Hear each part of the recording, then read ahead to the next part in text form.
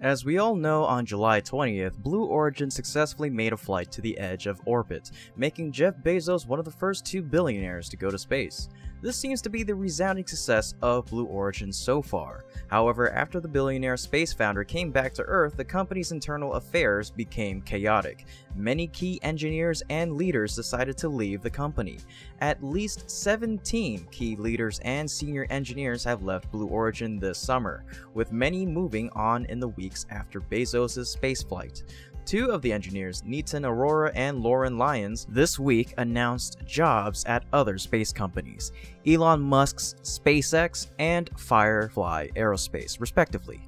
Others quietly updated their LinkedIn pages over the past few weeks. The people who left the company are really familiar people in the rocket industry. Those departures include New Shepard Senior Vice President Steve Bennett, Chief of Mission Assurance Jeff Ashby, who retired, National Security Sales Director Scott Jacobs, New Glenn Senior Director Bob S., New Glenn First Stage Senior Director Todd Bykist, New Glenn Senior Finance Manager Bill Scammell, Senior Manager of Production Testing Christopher Payne, New Shepard Technical Project Manager Nate Chapman, Senior Propulsion Design Engineer Dave Sanderson, Senior HLS Human Factors Engineer Rachel Foreman, BE4 Controller Lead Integration and Testing Engineer Jack Nelson, New Shepard Lead Avionics Software Engineer Hung Va, BE7 Avionics Hardware Engineer Aaron Wong, Propulsion Engineer Rex Gu, and Rocket Engine Development Engineer Jerry Hudek. Now why did Blue Origin lose its top talents? Those who announced they were leaving Blue Origin did not specify why, however cited in employee reviews on job site Glassdoor and Indeed, many workers were frustrated with executive management and the slow bureaucratic structure. There were employees at the company who only gave one-star reviews. One employee said, I really was happy to work here, but I'm totally disappointed in the culture, horrible management, and lack of direction. So many people are leaving, I understand why. There are many opinions that managers are clueless. There is some passion for space, but no follow through. If that's the case, there's no reason why engineers who are passionate about space can continue to devote themselves to Blue Origin. Some of the engineers who left were part of Blue Origin's astronaut lunar lander program. Bezos' company lost its bid for a valuable NASA development contract in April when SpaceX was announced as the sole awardee under the space agency's Human Landing System program, winning a $2.9 billion contract. But despite the Government Accountability Office last month denying Blue Origin's protest of NASA's decision, the company has continued to escalate its fight to be a part of the HLS program. Blue Origin first launched a public relations offensive against SpaceX's Starship rocket, and then on Monday sued NASA in federal court. This really creates resistance and frustration for most employees in the company.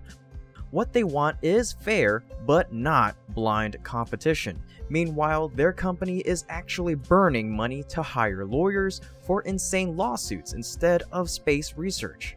Before the departure of key leaders and engineers, what action did Blue Origin take to retain the remaining engineers?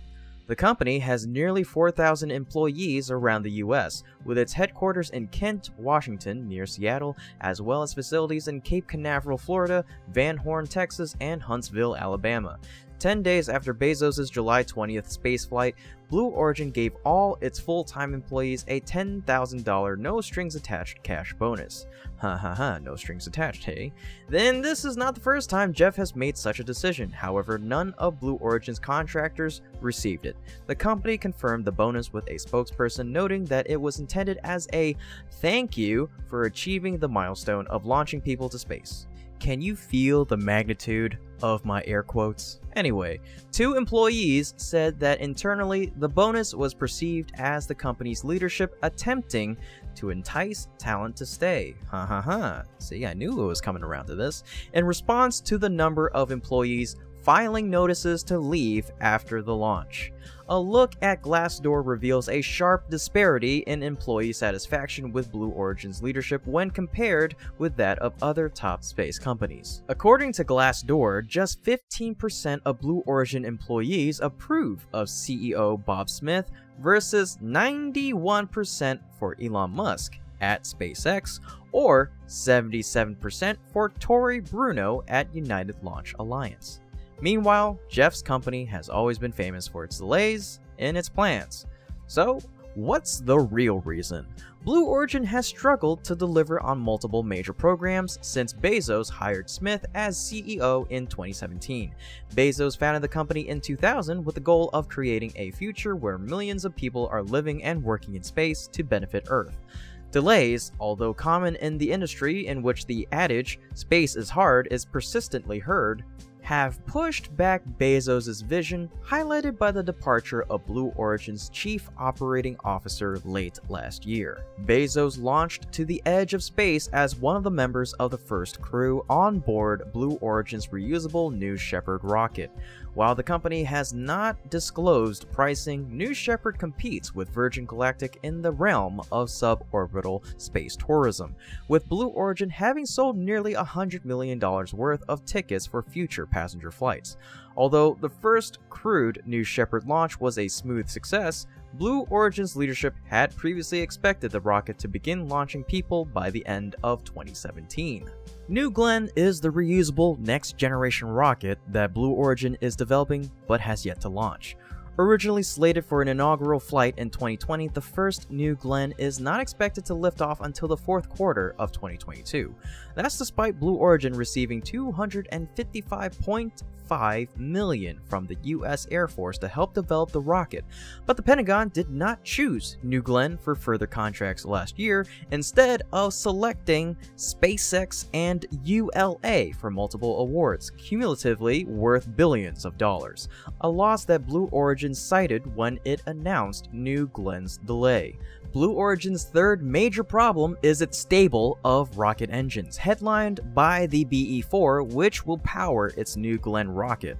The company previously said that its BE-4 engines would be ready for flight in 2017. However, four years later, development issues and a lack of hardware for testing quickly meant Blue Origin has yet to deliver its first flight engines. The company is pushing to have two BE-4 engines ready by the end of this year. Notably, BE-4s are important beyond Blue Origin, as ULA signed a deal to use the engines to power its Vulcan rockets, choosing Blue Origin over Aerojet Rocketdyne as its supplier.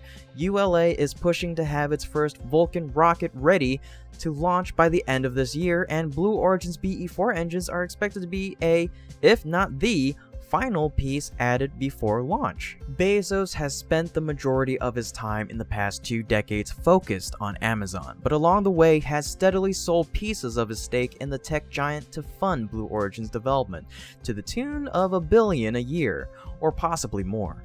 Last month, Bezos stepped down as Amazon CEO, with many in the space industry expecting him to spend more time focusing on his space company. However, there are also many who expect him to return to Amazon so as not to hinder the next steps of space.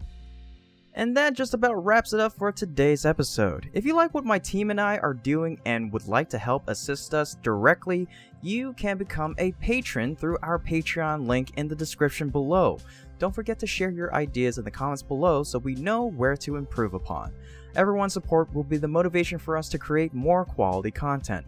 Otherwise, thumbs up if you enjoyed today's episode, subscribe if you haven't already, and be sure to hit the bell so you never miss out on future episodes. This is Kevin from Great SpaceX, and I'll see you next time.